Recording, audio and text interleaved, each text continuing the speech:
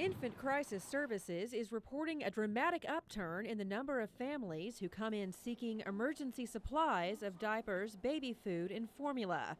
The nonprofit agency says the number of babies they served in 2009 jumped 12% over the previous year. We expect those trends to continue. We expect that we are going to continue to see a 12, 15, 17% increase in the number of clients that we see this year. More than one quarter of Oklahoma's children under the age of five live in poverty. And according to the state's Hunger Task Force, those children are at moderate to high risk for lack of food and basic necessities.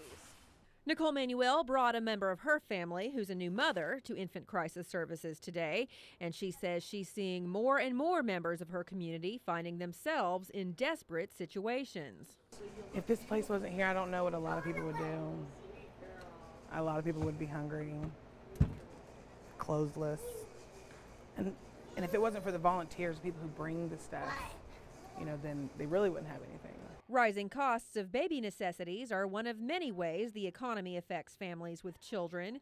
Infant Crisis Services spokesperson Jo Lynne Jones says for children living at the poverty level, formula and diapers can add up to nearly 10% of the family budget. We can't blame the fa families. We can't stop and point the finger and say, well, you didn't do this right, or you should have, you made a poor decision, you should have done this.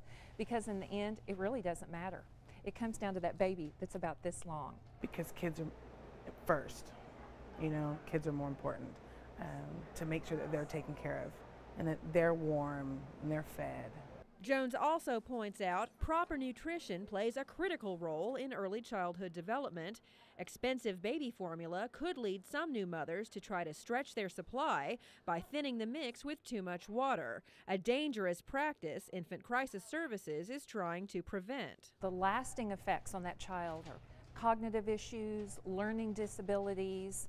So if we don't feed and take care of our babies, no matter what situation they're in, now, we're going to end up paying later because those are adults that are going to grow into uh, folks who are going to need even more services from our community, from our state government.